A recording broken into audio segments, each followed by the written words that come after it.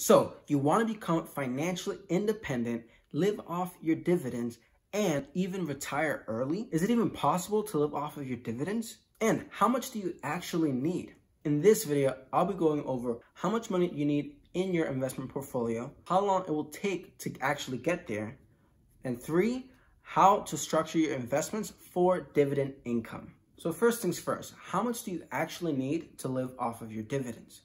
So before we even take a look at dividends or the stock market, you want to go ahead and actually evaluate your expenses. Now this is going to be different depending on your situation. So if you're single, living, you know, at your parents' place, you know, you're going to be able to save costs on rent. So you're going to have different expenses, right? But, you know, you might be a family person and you have um, different mouths to feed. So again, it is going to be different on your situation. So really go ahead and evaluate your expenses for your life.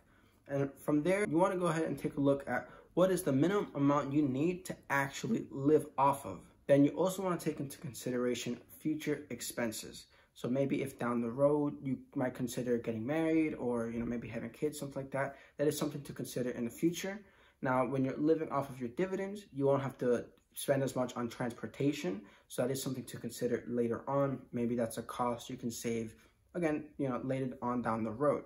But, and you really want to be specific with the number, with how much you want to actually uh, spend money. So when you go ahead and evaluate your expenses, don't just let it be like a fudge number, you know, really try and get as specific as possible with the amount of money you're going to need to live off of. Then once you've figured out how much you actually need and you've evaluated your expenses, you want to go ahead and figure out, do you want to live entirely off of your dividend investment portfolio or do you want to go ahead and use part of your investment capital as well? So this is also known as in the fire community, the 4% rule. Now I've looked into it and some, some people say it's like 3.5%, some say it's like 4.5% that it has been changing.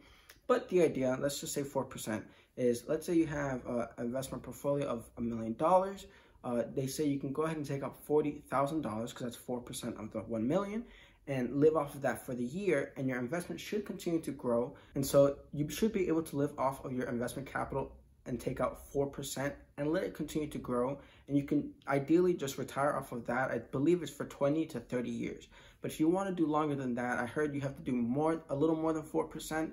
Again, depending on your situation, taking a look at if you want to live off your dividends or if you want to also take out some capital as well, maybe do both. All right. And I'll go ahead and leave a link somewhere above uh, discussing like the 4% rule and just kind of so you can get a little more depth on that then I would also go ahead, once you've decided, I personally do go ahead and invest just for uh, dividend income. I'm not really interested in doing the, the 4% rule. So that is something to take note. Uh, I do look for companies that pay about a 5% dividend yield.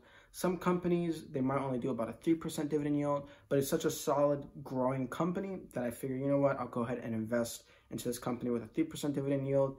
And then there's some companies I'll even do 7%.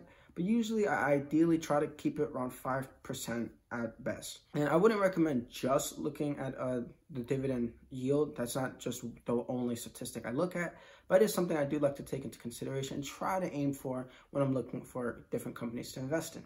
If we just keep it at this 5% dividend yield, and we want to go ahead and have about uh, $25,000 per year in dividend income, then we're to need about $500,000 of a dividend investment portfolio. And if you want to go ahead and have about $37,000 per year of dividend income, that's going to respectively be about $750,000 saved up, you know, invested in your dividend investment portfolio and so on. And now at this point, I'm sure you're probably thinking, you know, man, that a million dollars, I can't grow that. You know, that takes too long to actually go ahead and, and build up. You know, it's all bogus, right? Well, let's go ahead and take a look at how long it will actually take to grow your investment portfolio. Now, it does sound a little crazy, right? But think about this most people are willing to go ahead and invest in property, usually do about a, a 30 year mortgage where their home is usually about anywhere from $500,000 to a million dollar home, right? And you usually spend about 30 years building up your home equity in that property. It's kind of the same idea with dividend investment portfolio. You want to go ahead and take the time to grow your portfolio. You're not going to grow it overnight. It's not going to take, you know, just a week. It's going to take time. It will take time, but once you take your baby steps, your portfolio will continue to grow and grow and work for you.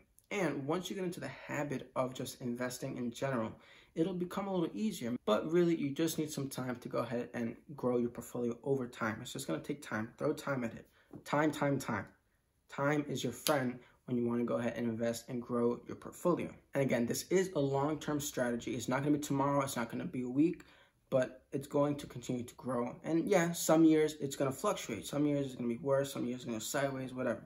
But over time, usually the stock market will continue to grow up, as well as if you've invested in solid companies with solid dividends, they're actually going to go ahead and grow the dividend as well, where if you have a dividend that pays, let's say, a dollar per year, that company will actually go ahead and continue to grow that dividend as the stock price continues to grow as well. So that is something to also remember when you're investing in dividend growing companies. Not only is the capital going to grow, but the dividends that get paid out will continue to grow as well and work in your favor. So the amount of money that you start off with is going to be known as your initial deposit. So let's say you have a couple grand saved up, let's say five grand for this example you go ahead and take that five grand and you go ahead and put it into your investment portfolio and you don't take it out. Then from there, you're actually going to want to go ahead and determine how much money you personally are willing to go ahead and put into your investment portfolio. For example, some people might get paid weekly, some people might get paid bi-weekly, but determine whatever time frame it is you get paid and figure out what's a comfortable amount you can go ahead and invest into your portfolio. Now, some people like to do percentages. Some people like to do just, you know, direct numbers. So figure out whatever works best for you. Even if it's just, you know, $5, $10, whatever, $100, you know, whatever you, re you really can go ahead and just put aside also, of course, taking care of your expenses and day-to-day -day things. Usually most employers are going to allow that you can also automate this. So if you have, you know, a dividend investment account, you can go ahead and just automate X amount into your dividend investment portfolio. Once you've determined the amount of money you want to go ahead and invest and you're comfortable with investing, I would actually recommend going ahead and just automating it. But if you want to go ahead and do it manually, you can. And I know this is going to be a little controversial, but I actually wouldn't recommend putting all of your money into like your retirement account. Now, I know there's going to be great tax benefits as well as uh, like company matches, things like that where if you go ahead and put 5% of your salary, your employer will go ahead and match you and give you 5% as well. So definitely I would recommend taking advantage of those sorts of benefits, but I wouldn't necessarily recommend putting so much money into your retirement account because remember, you can only take out money from that account once you hit 65. And the idea with a dividend investment portfolio that pays you income is that you can take it out really at any point you want to. So definitely take advantage of the benefits for your retirement account, but I would definitely recommend instead, once you've maxed out those benefits, to go ahead and start looking into a dividend investment portfolio. Now at this point, you might be thinking, what exactly is the time frame to go ahead and invest and grow your dividend portfolio?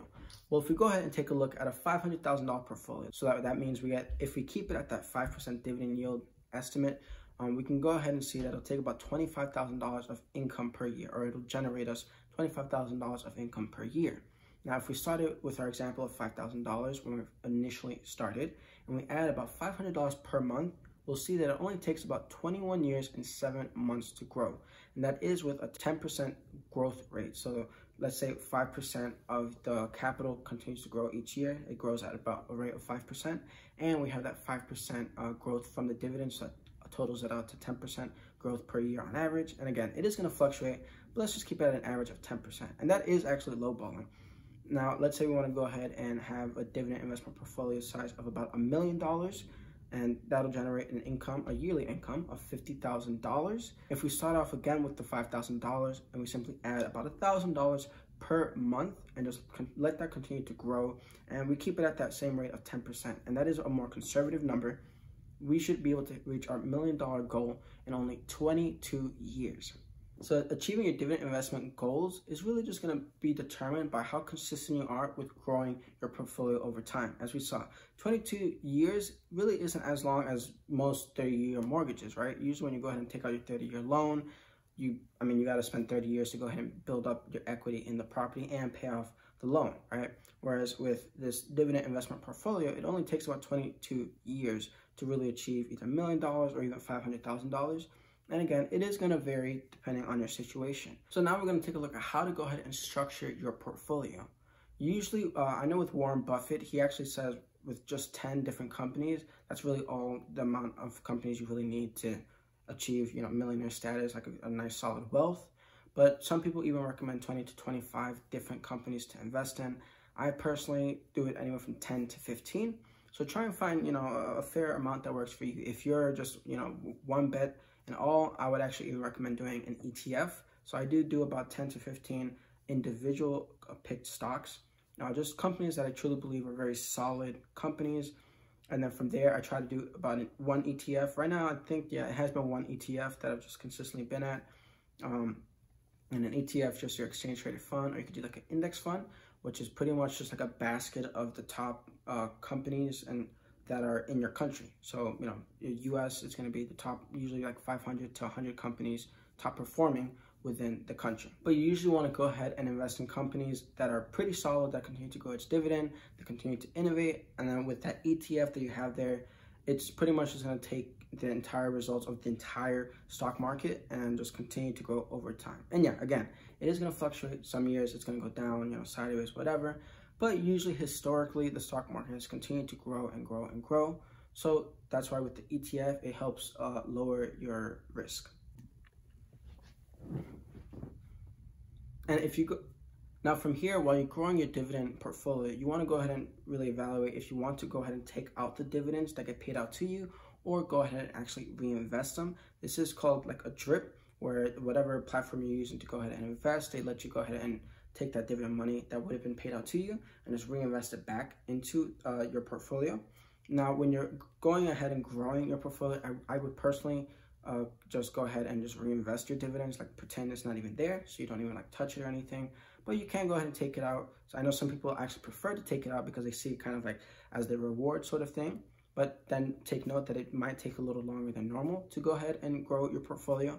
But even then, the 10% was very conservative. I know in the US, the average is about 10 to 12% return per year. And that's not even including the dividend. So you can, you can add that 5% dividend yield plus the 10 to 12%. Well, let me say 10%. So it really is about a 15% yield, at least within the US. So, but I just wanted to use more conservative numbers because to think of it as more of a worst case scenario, you should still be able to grow your investment or achieve your investment goal within about 20 to 25 years. Remember that this money is going to continue to grow and grow over time. Your capital is going to continue to grow if you've invested in solid companies, and your dividends are going to continue to grow because that's something people tend to miss out on.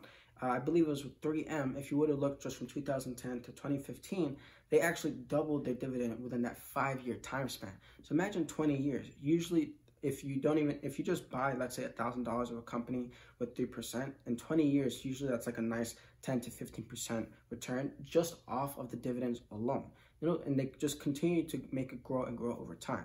Now uh, uh somewhere you might want to take a look at is taking a look at some dividend aristocrat stocks which is pretty much just companies that have continued to grow their dividend and pay out dividends to their investors over the last 25 years or more so usually pretty solid companies, but again, invest at your own risk, you know, and go ahead and invest whatever you think works best for you. And a quick disclaimer, today's video is not investment advice. I'm not a licensed investment advisor. Today's video is for your fun and entertainment.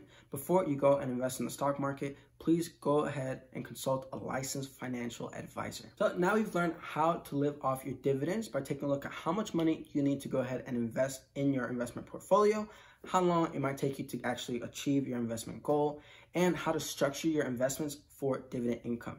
And I hope this video has inspired you guys to continue achieving and striving for your investment goals. I wish you guys a really great day. I hope you guys enjoyed today's video and gained value out of today's video. Thanks for watching.